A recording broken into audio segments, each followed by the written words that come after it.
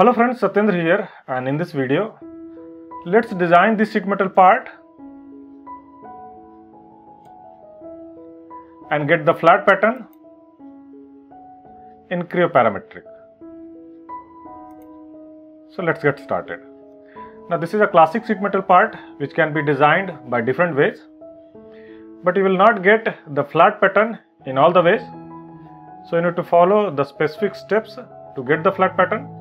So if you follow my steps, you will easily get the flat pattern. So let's see how this part is done.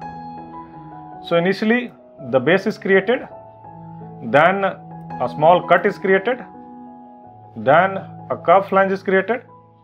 After that the complete flange for left side is created, then the same flange for the right side, then there is a cut, one more cut and then at last there is a round.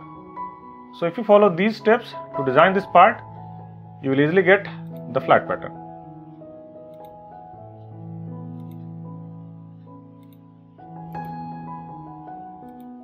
So practice this part to understand the standard steps taken to design this kind of part.